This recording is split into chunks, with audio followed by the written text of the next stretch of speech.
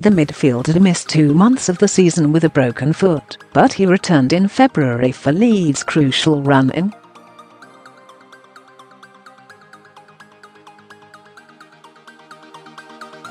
Dallas was a regular fixture in Bielsa's side before his injury, but he's yet to start a game since coming back.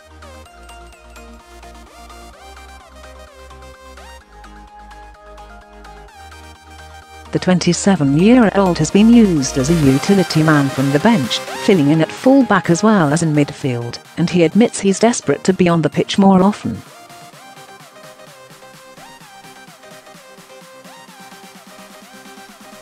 It's not ideal if you are coming away here and you're not playing at club level, he said while on international duty with Northern Ireland.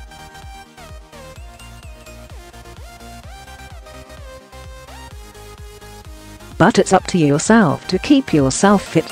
The club will do as much as they can for you and I can only speak for myself and my situation at Leeds.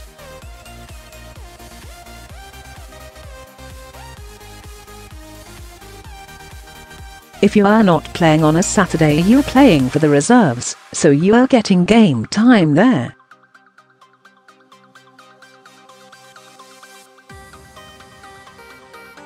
I perhaps haven't played as much in previous weeks as I would have liked, it hasn't been helped by the injury I picked up at the start of December.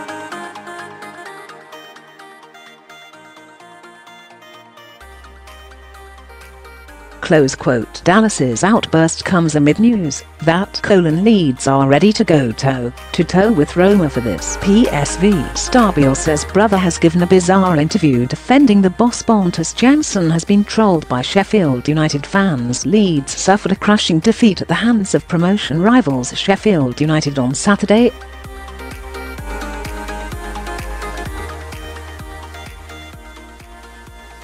The Yorkshire Giants are now a point behind in the race for the top two and face a fight to avoid the playoffs with just eight games left.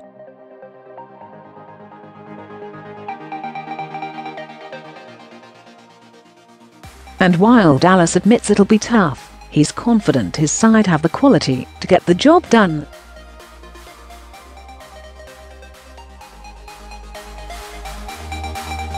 Everybody's positive, he said, we had a disappointing result at the weekend, and it was a chance to open up a gap between us and Sheffield United but full credit to them.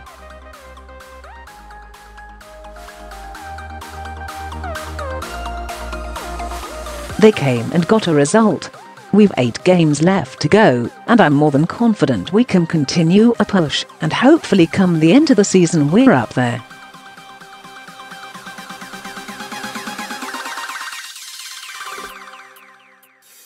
It would be great to get a club like Leeds back up to the Premier League, but we're under no illusions about how tough it's going to be.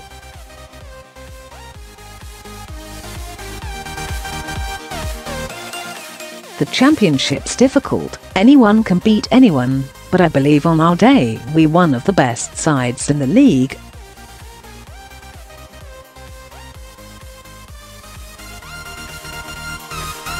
Hopefully we can show that over the next 8 games.